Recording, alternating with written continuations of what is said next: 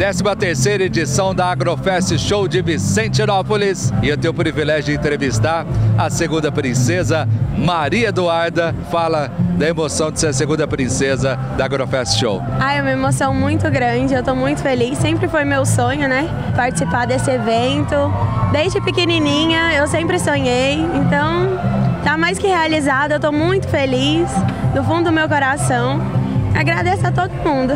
Fala um pouquinho de você, Duda. Sou Maria Eduarda Ferreira Rezende, nascida e vivida a vida inteira aqui em Vicentinópolis, Goiás. Tenho 15 anos. Um sonho? Meu sonho já foi realizado, né? Que foi ser entrar e ganhar. Tá mais que realizado. Um ídolo? Luan Santana, sempre foi meu sonho. Acredita? Conhecer ele.